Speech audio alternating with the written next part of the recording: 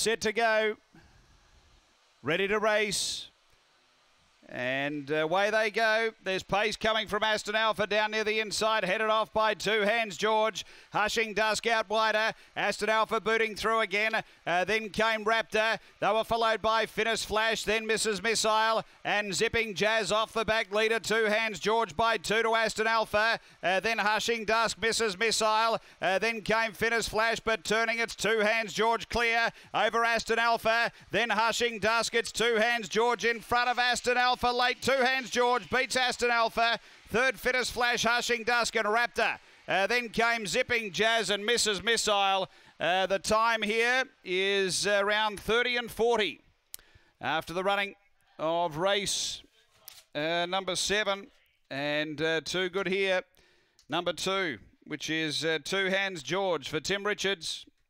Gets the job done. Number two. Second, going to one Aston Alpha for Matthew Payne. And uh, third to four, Finnis Flash for Ryan Tugwell. 2 1 4 3 fourth after Murray Bridge race seven.